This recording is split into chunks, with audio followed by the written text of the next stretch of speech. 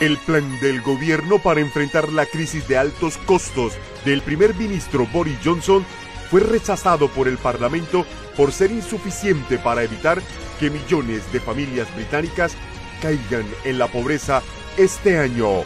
Esto después del discurso de apertura parlamentaria leído por el príncipe Carlos en nombre de la reina Isabel II. Los vecinos tendrán voto en la decisión de los desarrollos de vivienda en su zona como parte de las reformas de planificación destinadas a dar más voz a las comunidades. Esto según el nuevo plan del gobierno de nivelación de las áreas más pobres del Reino Unido que fueron revelados hoy. Alertan que más de 1,5 millones de hogares británicos tendrán problemas para pagar facturas de servicio, asegura un informe al señalar que Gran Bretaña podría caer en recesión económica este año.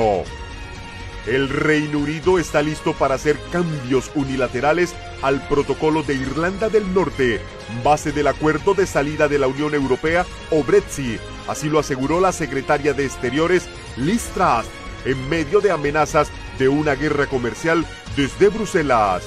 Por primera vez en la historia de las Islas Británicas, el premio gordo de la lotería Euromillones de 184 millones de libras esterlinas recayó en un británico. Los retrasos en la entrega de visas de la Home Office demuestran el ambiente hostil con los migrantes que mantiene el gobierno británico desde hace 10 años. Así lo aseguró a Express News Manuel Padilla, abogado de migración.